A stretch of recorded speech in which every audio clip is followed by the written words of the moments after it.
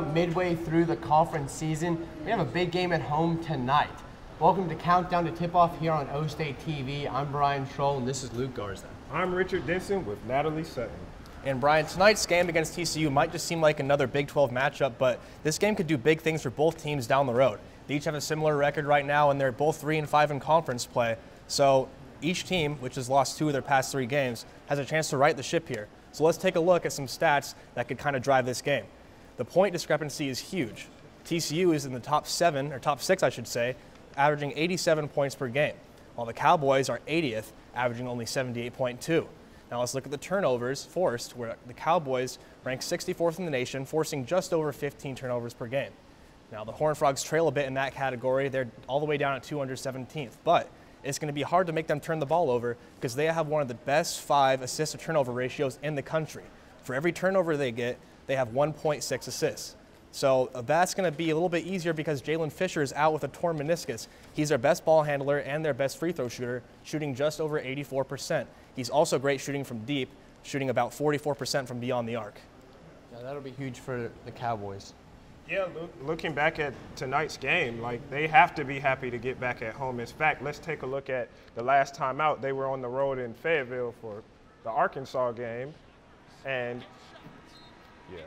So yeah, they were on the road in, in, Fayetteville for the Arkansas game as part of the Big 12 SEC Challenge, and Arkansas was looking to try to redeem themselves because I know we blew them out last year, so Arkansas had that bad taste in their mouth. I think it was one of their worst home losses, and we were actually coming into the game having won 11 of our last 12 meetings at Arkansas, but nevertheless, you got to kind of throw records out of the uh, book when you come to a matchup like this. I mean, we're on the road in the SEC country, and the crowd was into it. And Luke, it was it was a heck of a game. But what were some of your takeaways from that game? Well, you know, another nail biter, and that's something OSU's been used to all year, but they were without two of their most impactful players in Tavarius Shine and Kendall Smith. We all know what Smith did during Bedlam a couple clutch threes, a few clutch layups to here and there when the Cowboys needed it. And Shine, I would say, is the Cowboys' most prolific wing defender. He's long, he's strong, he's able to contain a lot of guys. So I think they really missed him down there, and, you know, we saw how close the game was. I think either of those two guys' presence might just swing the game in, in the Cowboys' favor. Yeah, playing without those guys, Brandon Averette had to play a career high 36 minutes. He responded though. He had like 10 points and four assists, but still, like no Kendall Smith, and then we already know about the situation with Dawson, him getting kicked off. So that was a tough loss for the Cowboys that dropped to 0 5 in true road games. And so, I mean, Boynton is kind of relieved, I guess, a little bit to get back at home, kind of get back to the winning ways, get back to playing in the conference. So it should be interesting tonight. Yeah, and they had a tough stretch right there going to Tech and then going to Arkansas. And even though the Cowboys and five other Big 12 teams lost in that Big 12 SEC challenge, they went 4 and 6 during that. I don't think it changes the fact that the Big 12 is at the top of conference standings every year in every college sport, the question's the same. What conference is best? But in college basketball, I feel like the question should be what conference is the deepest? And it's the Big 12 this year, and here's why. Seven teams are in the top 50 in the KenPom rankings and in the top 50 in strength of schedule. For the Big 12, that's 70% of the conference compared to the 50 to 60% range that the SEC and Big 10 see. To go along with the treacherous Big 12 slate, the Big 12 played 16 ranked opponents in its non-conference schedule this year. Normally that doesn't bring the tough schedule that they have, but the Big 12 features some of the best teams in the country this year. Throughout the season, the conference has seen up to eight teams featured in the March Madness predictions, and they find have some of the top players in the country, many on the preseason award watch list. Players like Trae Young, Devonte Graham, and Mo Bamba and others are leading teams that are fluctuating in and out of the top 25. Right now, the Big 12 has four teams in the top 25, but it's tough because in the Big 12, every team plays each other twice, whereas other conferences like the ACC, you might only play each other once. So it's really hard for that Big 12 team like TCU, who had to play a stretch of Kansas and OU very close together. They were high in the rankings, then they lost those games and they just kind of fell out. Yeah, it's the friction of playing against those teams multiple times that, you know, it motivates some players like Mitchell Solomon to be better because they're either going to redeem themselves or they're going to fail. So that's why he's my player choice for climbing up the boards.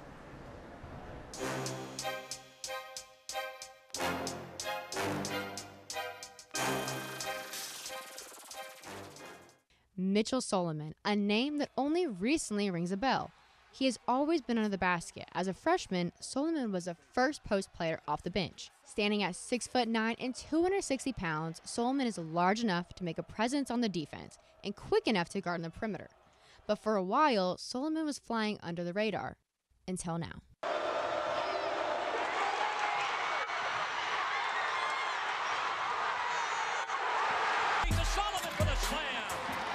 Mitchell Solomon finishes. Solomon the rebound. Solomon is making headlines and moving up in the ranks in the Big 12.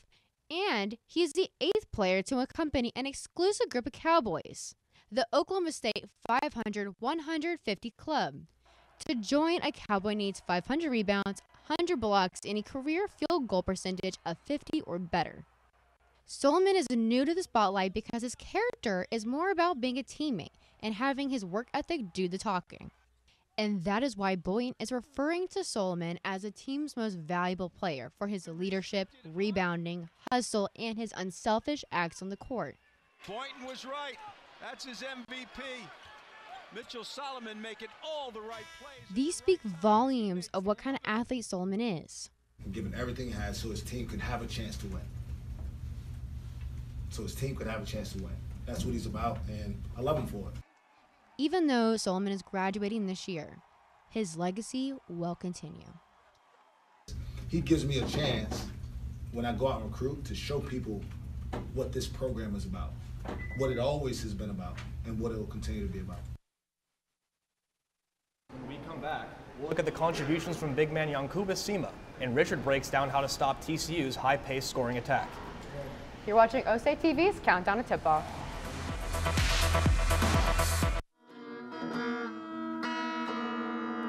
Oh, dang it. Siri, guitar lessons. Hmm, Daddios. Hi, how are you doing? I'm good. I was hoping to hear more about your music lessons. Sure, 70 bucks a month. It's 30 minute private lesson once a week. What do you want to learn? The guitar. Uh, that's fine, you a teacher. Sounds good.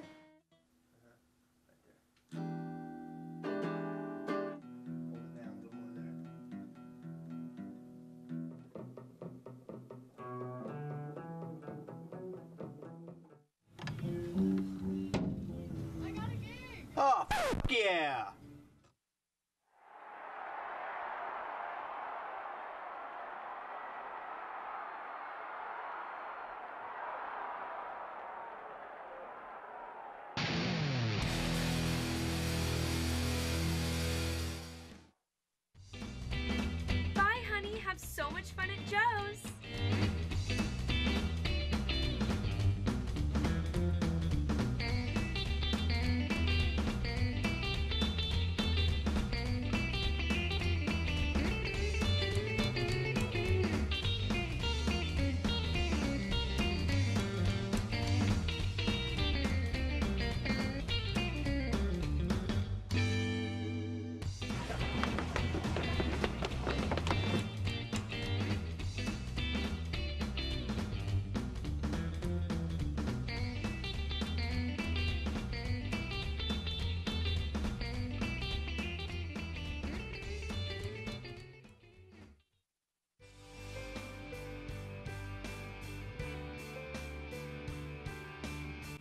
Come to Stillwater Zone, Jumping Little Juke Joint. Let us be your Joe's Forever.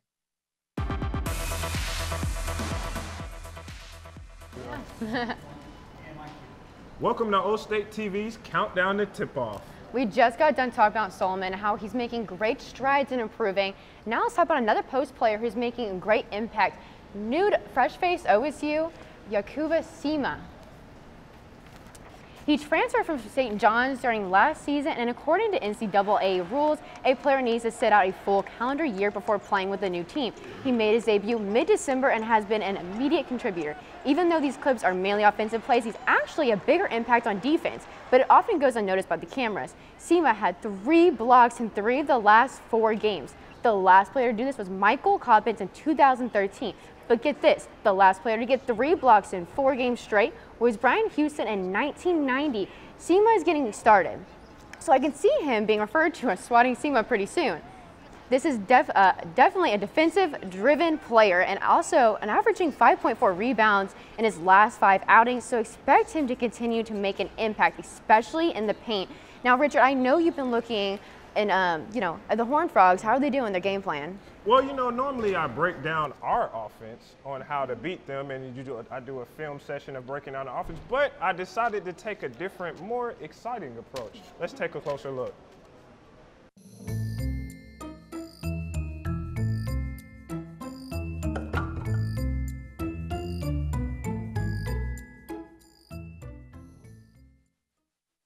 Horned Frogs enter tonight's matchup with the Cowboys as the number six ranked scoring offense in the country.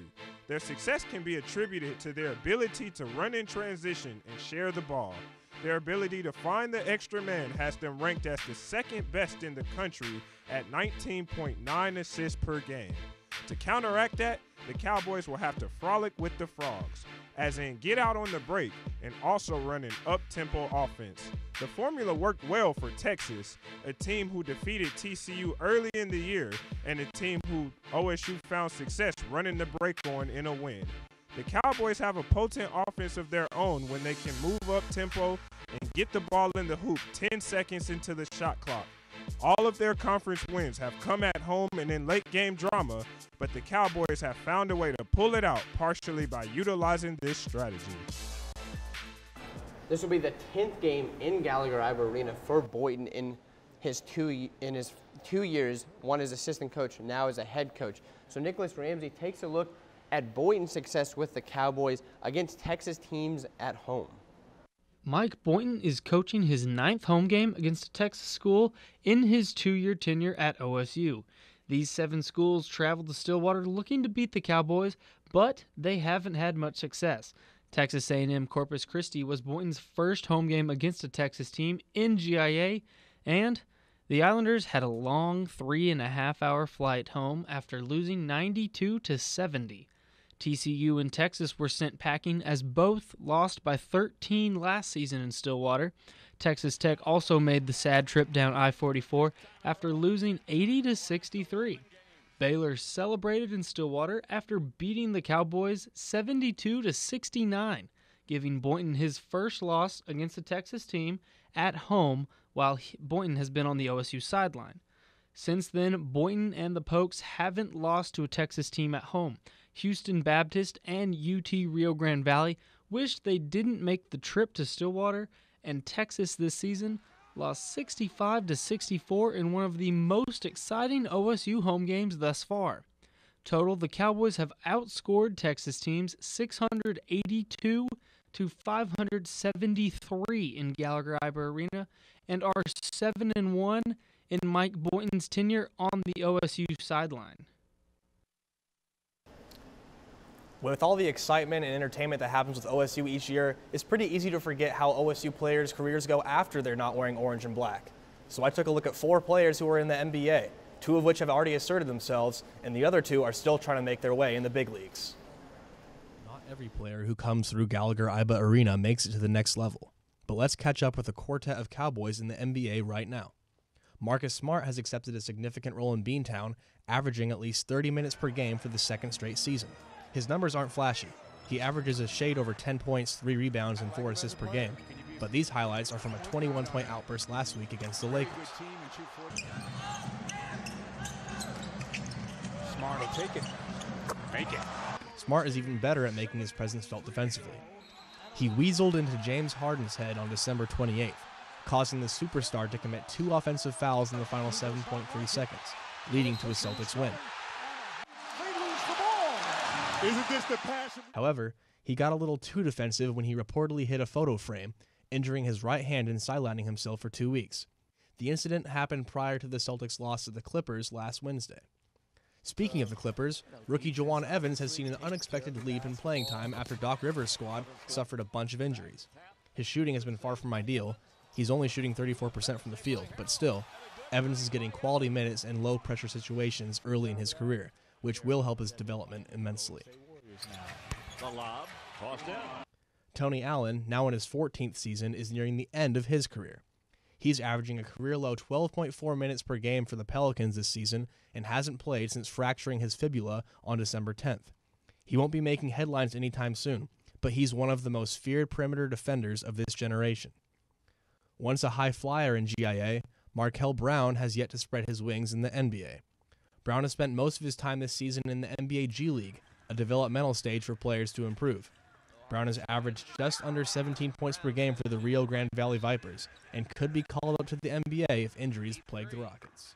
Yeah, Luke, I think it's awesome how Jawun Evans in just one year has played such a big role in LA.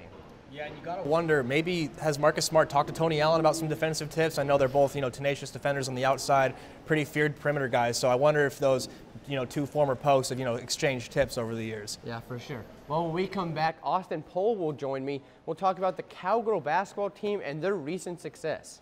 You're watching O State TV's Countdown to Tip Off.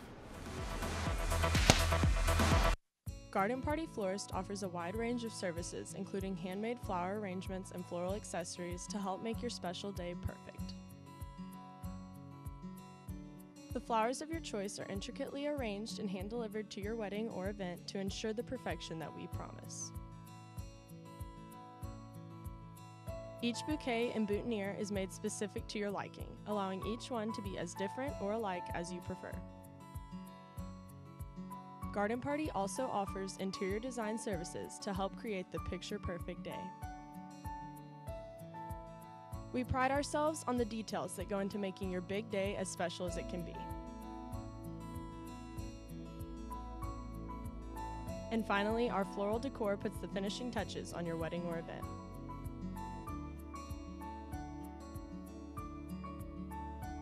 At Garden Party, we aren't just arranging flowers, we're arranging memories. See you there.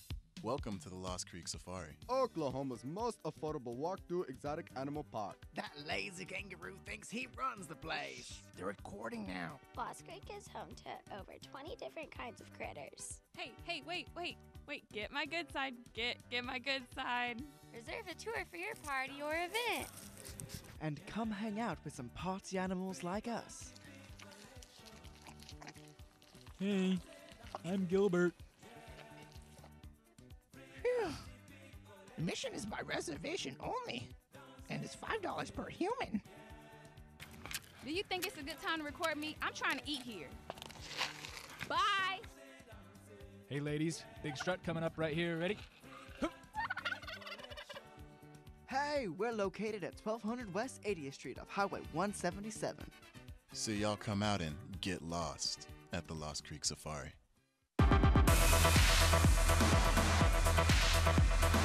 Welcome back to Countdown to Tip Off here on O State TV.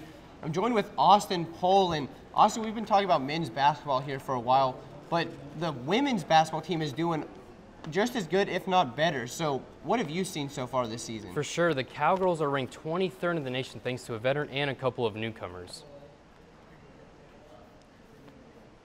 Kaylee Jensen is one of four seniors on Jim Littell's team. She is ranked 22nd in the nation in rebounding at 10.4 per game and is tied for ninth in double doubles with 12.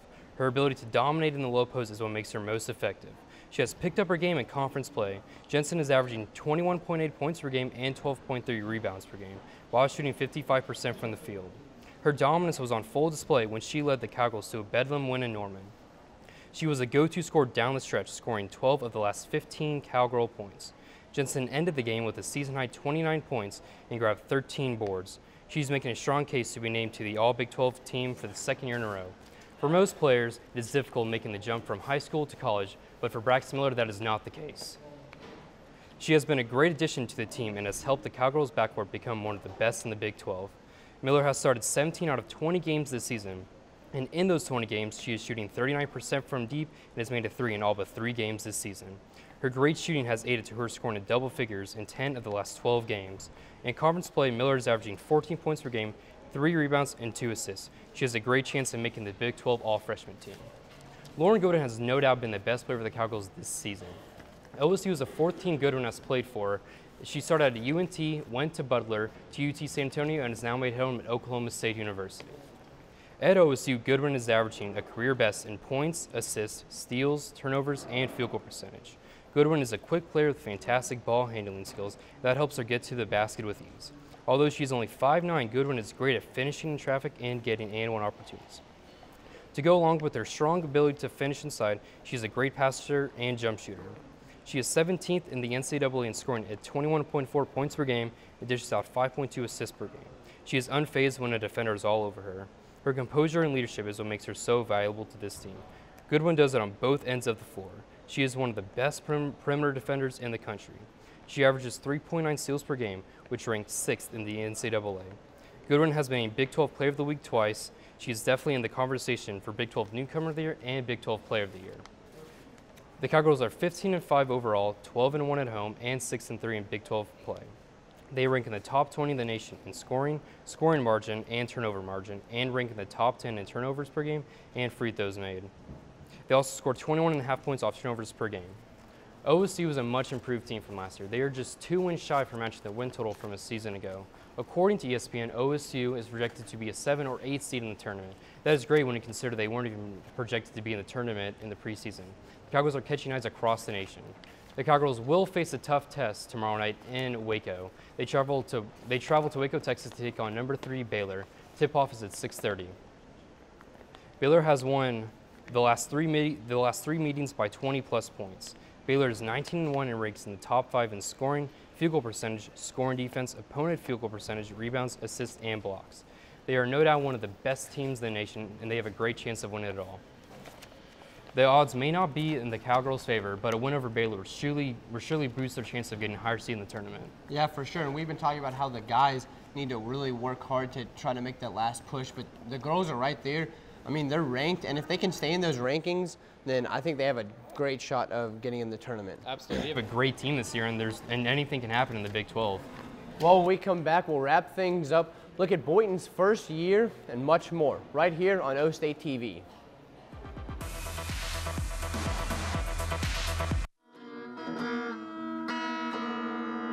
Ah, dang it.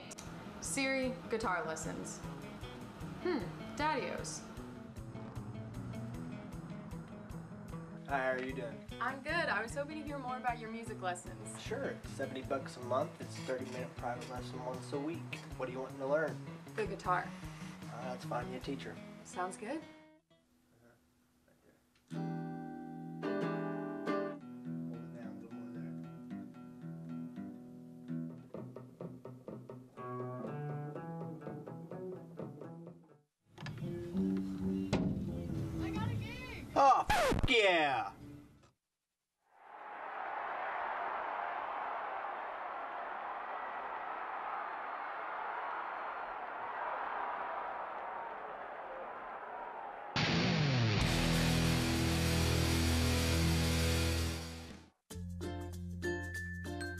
Welcome to Gypsy Snark. May I help you find anything? No thanks. I think we'll just see what pops out at us.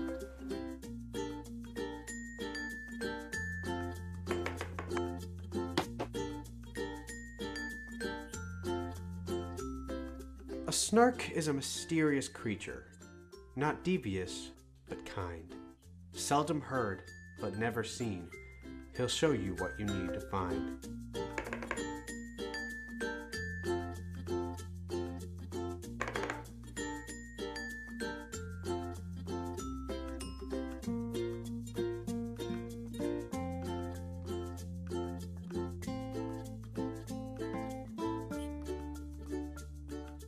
Did you have trouble finding anything?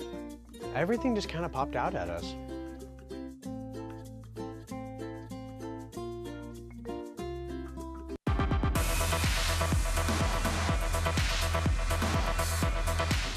Welcome to Old State TV's Countdown to Tip Off. Before we continue, I'd like to give a special thanks to OSU Dining for allowing us to use this fine venue.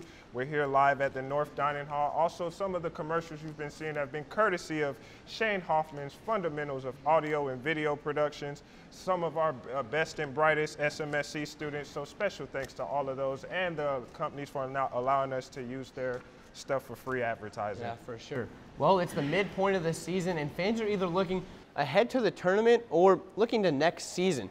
So Nick Ramsey compares how Boynton has done in his first season versus others. Mike Boynton is 13 and 8 through his first 21 games this season, and the Cowboys have surprised some teams. But how have previous OSU coaches performed in their first year?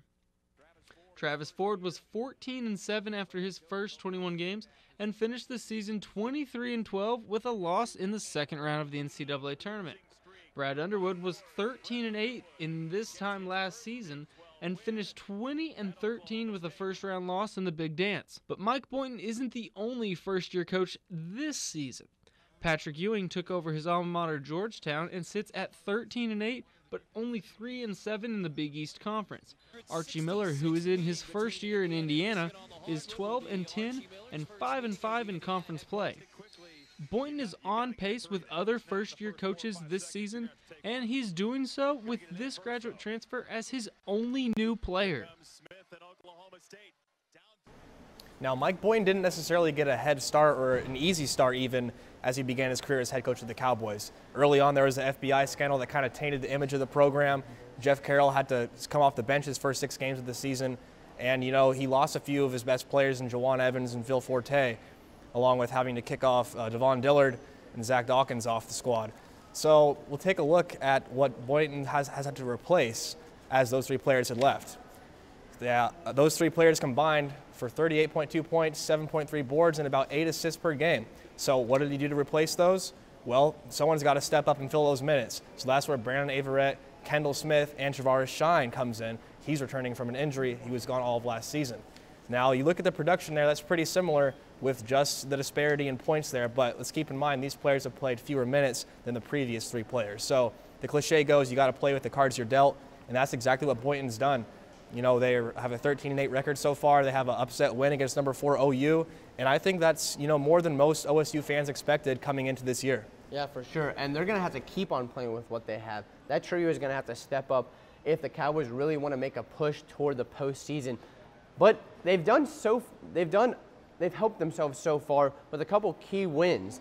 They beat number 19 Florida State on a neutral court, uh, 71 to 70, and then just recently, they beat OU here in Stillwater. OU was ranked number four at the time. They beat them in overtime 83 81. But just those two wins are not going to help them get in the tournament. They have some big ones coming up. They have tonight's game against TCU, and then they still have to travel to TCU. They also have four games left against currently ranked teams, two of them being on the road. And then they have two more games on the road against Texas and Iowa State. And we are talking about how they've kind of struggled on the road. They're going to need to pick it up if they want to make the tournament. Yeah, believe it or not, Brian, there actually still is a path to actually qualifying for the NCAA tournament. I know, like um, on our first show earlier, that we said, well, OSU is projected to be number 10 and they probably won't make the tournament. But like as y'all was talking about earlier, this is the best conference in basketball. So every night you know you're going to have to bring it. Taking a look at our remaining schedule, there still is a path. We still have to play Kansas twice, which we can get a game out of that. Now, I know last year Kansas swept us, but this isn't one of your typical Kansas tough teams. You still have Baylor at home, you still have Texas Tech at home. Those are two ranked teams. Well, Baylor's not ranked, but they're a highly competitive team.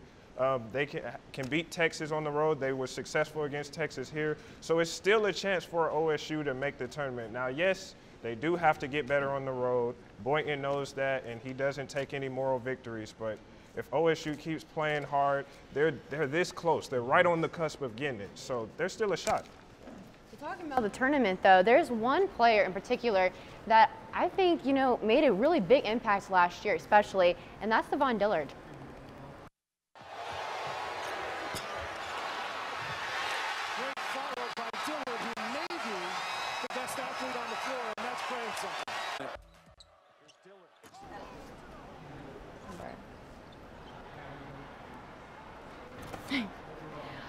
Unfortunately, Davon was kicked off the team earlier this semester, um, beginning this year, because he violated team rules. And, you know, that's the biggest surprise to me because I feel like he's such a vital player. Like, if you looked at ESPN, um, Sports Center, you name it, he was on there. They were mentioning him. He was a big player. And for him to be making an impact, you know, pushing people's buttons off the court enough to, like, get kicked off the team, I just think that's so big that the team is sacrificing having a strong player over having moral rights.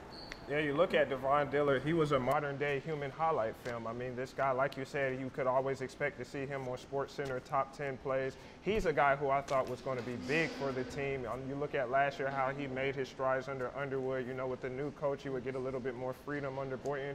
He stayed here. He could have followed Underwood to Illinois. In fact, there was some rumor he was going to go to Illinois, but he stayed here. And so I was shocked by how he was couldn't get it together and he got kicked off. But like Boynton said, you just got to kind of work with what you have. He's never had his team whole, but hey, guys have stepped up and they've contributed, so no excuses there. Yeah, it's definitely shown. Um, you talk about surprising players. I know Oklahoma State fans aren't going to want to hear this, but if I had to pick a player of the year right now, it would have to be Trae Young.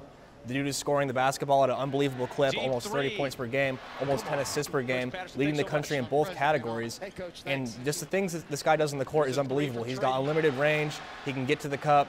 And I know people will point out, yeah, he had all the turnovers. He took 39 shots against OSU. But if you want to talk about efficiency, the next game, he scored 29 points on 7 of 9 shooting. And that's just a feat that not many players in this league can accomplish. I know coming into this season, maybe Marvin Bagley was a consensus pick, maybe DeAndre Ayton from Arizona as a little dark horse, but right now I got to stick with Trae Young, and he's not slowing up anytime soon. And I have to agree with you. I think Trae Young is the front runner for Player of the Year. And he won't necessarily be the first one drafted. Um, It'll depend on who is picking at that number one pick come the NBA draft. But I think he is the best college player right now. I know Bagley and Ayton might fit other teams' needs, but Trae Young is, is killing it out there. Well, ladies and gents, as we look to wrap things up, you remember we are about 20 minutes away from tip-off. You can watch the game tonight on ESPNU. If you do not have immediate access to a television, there is the ESPN app. You can watch it on all your mobile devices, tablet, smartphone, laptop. Also, if you're not uh, access to that, you can listen on the radio to our own Dave Hunziker, the voice of the Cowboys on the Cowboy Radio Network. So it should be a good game tonight. OSU back on at home. Look to get another conference win. I'm excited. Yeah, I am too. I think it'll be a good game. The Cowboys come out with some intensity like they did against OU. Get up big. Don't let TCU kind of work this way back. Keep that lead. I think it'll be huge. Well, for everyone here at Countdown to Tip Off, for Luke Garza, I'm Brian Shrull. And for Natalie Sutton, I'm Richard Denson. Thanks for watching.